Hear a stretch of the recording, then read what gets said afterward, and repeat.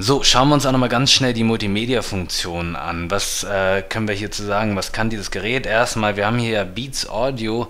Darauf möchten wir achten, wenn wir jetzt gleich äh, den äh, Musikplayer mal testen. Außerdem haben wir hier einen 1,2 GHz Quad-Core Qualcomm Snapdragon 200 Prozessor, 1 GB Arbeitsspeicher, äh, nur 4, 4 GB internen Speicher, wie das Ganze in der Nutzung aussieht.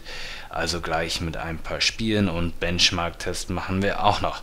Ähm, außerdem habt ihr hier die Möglichkeit, einen Kindermodus einzustellen. Damit möchte ich kurz anfangen.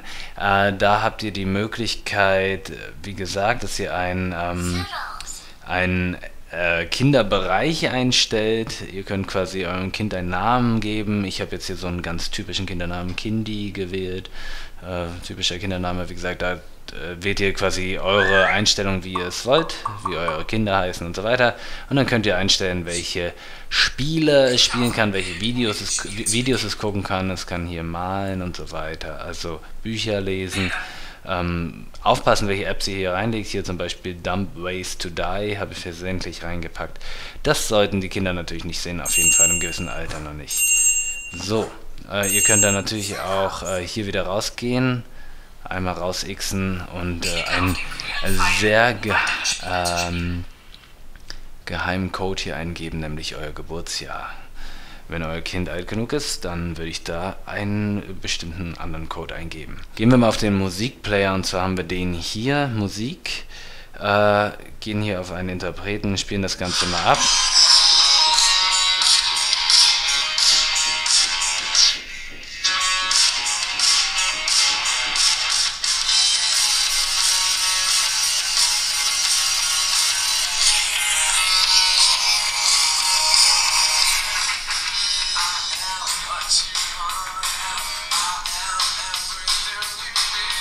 Yeah, I knew.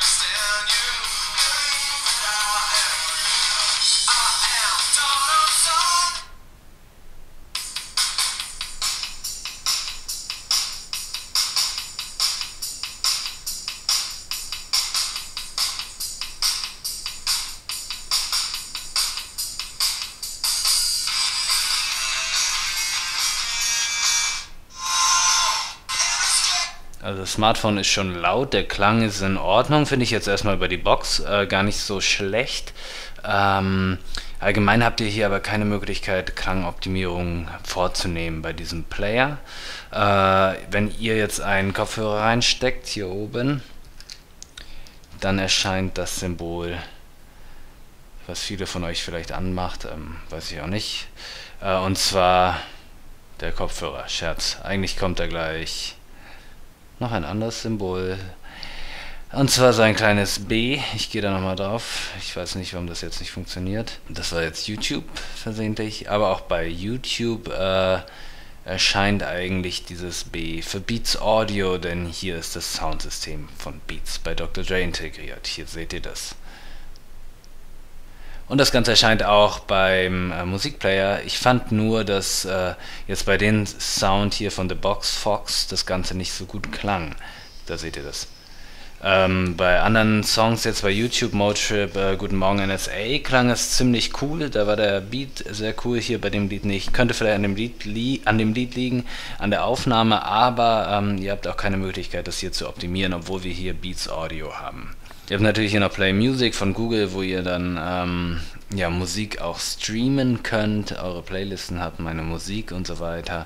Ähm, und zwar spielen wir jetzt einfach mal ein Spiel, schauen wie das so läuft. Ich habe versucht, größere Spiele runterzuladen im Play Store wie Six Guns oder Dead Trigger.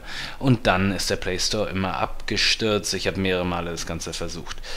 Äh, gehen wir mal auf Temple Run, schauen uns das Ganze an, wie das läuft und danach folgt der Benchmark-Test.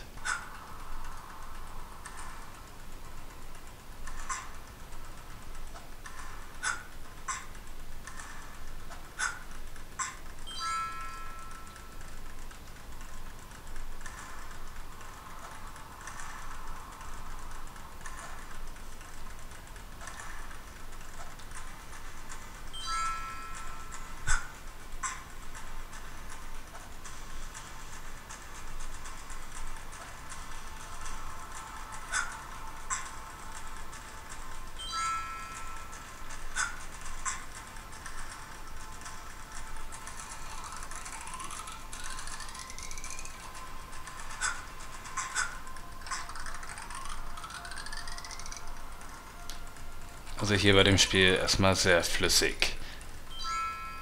Spielen wir nochmal hier Dump Way to Dice. To Die. Dump Way to Dice.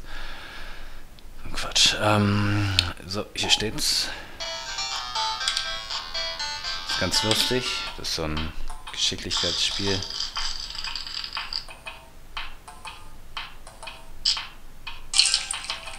Irgendwie mache ich das immer falsch. Bei dem sterbe ich immer.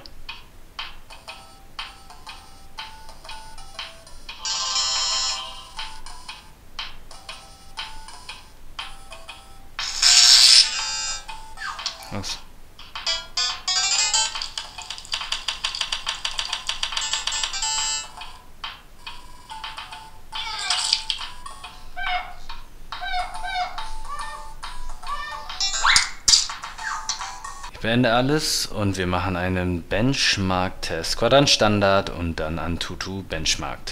Benchmark. So, und jetzt seht ihr hier schon Your Device über dem HTC One X sogar. Wir haben hier 5085 in total, wie ihr sehen könnt. Hier sind die Daten, CPU 12448. Im Vergleich mit dem letzten Test jetzt einfach das natürlich das ein High-End-Gerät gewesen, das Sony Xperia Z1. Da hatten wir 21.132 in total und hier nur 5.000. Trotzdem, wie ihr sehen könnt, ganz oben. Machen wir weiter mit dem Antutu. So, beim Antutu Benchmark sieht es schon ein bisschen anders aus. Hier kommen wir mit 11.631 Punkten relativ weit unten auf der Liste an und zwar nur über dem S2. Darüber ist das One X, das Nexus 4 drüber S3, Nexus 10 Xperia Haben wir hier S4 Note 3. Ähm, ja, damit ihr einmal die Ergebnisse seht, wo wir hier so stehen, wie viele Punkte wir hier so bekommen. Ähm, ja, so viel zu den Multimedia-Funktionen. Schaut euch die Zusammenfassung an. Wenn ihr weitere Infos sucht, wollt, braucht, geht auf www.handy-mc.de. Wenn ihr Infos über Tarife wissen wollt, wenn ihr Geräte vergleichen wollt, dann geht auf www.handy-deutschland.de.